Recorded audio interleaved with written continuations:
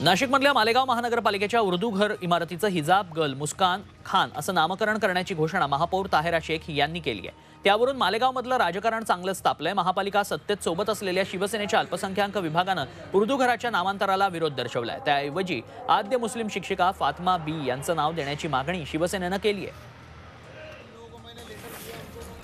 कर्नाटकमधील हिजाब वादाच्या निषेधार्थ रविवारी मुंब्रा भागात आंदोलन करण्यात आलं. मुस्लिम समाजातील महिला आणि तरुणी मोठ्या संख्येनं रस्त्यावरती उतरल्या होत्या. हिजाब हा आमचा अधिकार आहे. हिजाब आमची इज्जत आहे असं सांगत मुस्लिम महिलांनी यावेळी जोरदार घोषणाबाजी केली.